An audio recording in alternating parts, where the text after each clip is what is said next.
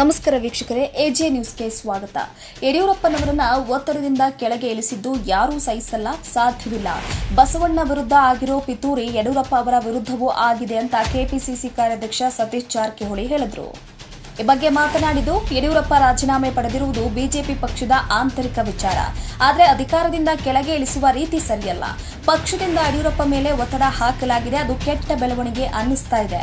ಭಾವುಕರಾಗಿ ಯಡಿಯೂರಪ್ಪನವರು ಭಾಷಣ ಮಾಡಿದ್ದು ಖೇದಕರ ಸಂಗತಿ ಅಂತ ಹೇಳಿದ್ರು. ಕಳೆದ ಎರಡು ತಿಂಗಳಿಂದ ಸಾಕಷ್ಟು ಜನ ಹೇಳ್ತಿದ್ರು. ಸರ್ ಚರ್ಚೆ ಆಗ್ತಾ ಇತ್ತು. ಅವರು ಹೇಳಿದಾರ, ಹೇಳಿದಾರಂತ. ಆದರೆ ಅವ್ರು ಇವತ್ತು ತಿಳಿದಿದ್ದಾರೆ. ಅದು ಅವ್ರ ಪಕ್ಷದ ಆಂತರಿಕ ವಿಚಾರ ಅಂತ ನಾವು ಹೇಳಬೇಕಾಗ್ತದೆ ಹಿಂದೂ ಕೂಡ ಹೇಳಿದ್ದೀವಿ. ಆದರೆ ಅವ್ರನ್ನ ಇಳಿಸುವಂಥ ರೀತಿ ಏನು ಒತ್ತಡ ಹಾಕಿದಾರ ಅವರು ಹೈಕಮಾಂಡು ಪಕ್ಷ ಅದು ಭಾಳ ಕೆಟ್ಟದ್ದಾಗಿದೆ ಅಂತ ನಮ್ಗೆ ಅನಿಸ್ತಾ ಇದೆ. ಒಬ್ಬ ಜನನಾಯಕ ಈ ರೀತಿ ಅವ್ರು ಇವತ್ತು ಭಾಷಣ ನೋಡಿದ್ರೆ ಪಾವಕರಾಗಿ ಭಾಷಣ ಮಾಡ್ತಾ ಇದ್ರು. ನಾನು ಪಕ್ಷ ಕಟ್ಟಿದ್ದೀನಿ ಡೆಲ್ಲಿ ಕೂಡ ಬರಲ್ಲ ಅಂತ ಹೇಳಿದ್ರು ಅವರು. ಸೊ ಇದನ್ನು ನೋಡಿದ್ರೆ ಅವ್ರ ಮ್ಯಾಗ ಒತ್ತಡ ಏರಿ ಅವ್ರನ್ನ ರಾಜೀನಾಮೆ ಕೊಡಿಸಿದ ಬಗ್ಗೆ ನಾವು ಹೇಳಬೇಕಾಗ್ತದೆ. ಯಾಕಂದ್ರೆ ಯಾವುದೇ ರಾಜಕೀಯ ಪಕ್ಷದಲ್ಲಿ ಅವ್ರಿಗೆ ಗೌರವಿತವಾಗಿ ಹೊರಗೆ ಹೋಗ್ಲಿಕ್ಕೆ ಅವಕಾಶ ಮಾಡಿ ಕೊಡಬೇಕಾಗಿತ್ತು. ಅದನ್ನು ಬಿಟ್ಟು ಅವರು ಯಾವುದೋ ಒಂದು ಒತ್ತಡ ತಂತ್ರದಿಂದ ಅವ್ರನ್ನ ರಾಜೀನಾಮೆ ಪಡೆಯಲು ಯಶಸ್ವಿಯಾಗಿದ್ದಾರೆ ಇದು ನಮಗೆ ಹನ್ನೆರಡನೇ ಶತಮಾನದ ನೆನಪಾಗ್ತಾ ಇದೆ. ಬಸವಣ್ಣವ್ರು ಕೂಡ ಮನೋವಾದಿಗಳು. ಇದೇ ರೀತಿ ಅವ್ರ ಮ್ಯಾಗ ಒತ್ತಡ ಅವರು ಮಂತ್ರಿಗಳಾಗಿದ್ದರು ಅವಾಗ ಬಸವಣ್ಣವರು. ಸಾವಿರ ವರ್ಷ ಹಿಂದೆ. ಸೊ ಅದೇ ಬಹುಶಃ ಸಾವಿರ ವರ್ಷ ನಂತರ ಯಡಿಯೂರಪ್ಪಗೆ ಬಂದಿದೆ ಅದು ಭಾಳ ದುಃಖಕರ. ಅಂದು ಮನೋವಾದಿಗಳು ಯಶಸ್ವಿಯಾಗಿದ್ದರು ಇಂದು ಕೂಡ ಮನೋವಾದಿಗಳು ಅವ್ರು ಇಳಿಸ್ಲಿಕ್ಕೆ ಯಶಸ್ವಿಯಾಗಿದ್ದಾರೆ. ಅವರು ಯಡಿಯೂರಪ್ಪನವರು ಹೋರಾಟ ಮುಂದುವರಿಬೇಕು ಈ ಮನೋವಾದಿಗಳ. ಬಸವಣ್ಣವ್ರು ಹೆಂಗೆ ಹೋರಾಟ ಇತ್ತು, ಆ ರೀತಿ ಇವರು ಹೋರಾಟ ಕೂಡ ಮಾಡಬೇಕು. ಅವ್ರು ತೆಗೆದು ಅದು ಬೇರೆ ವಿಚಾರ.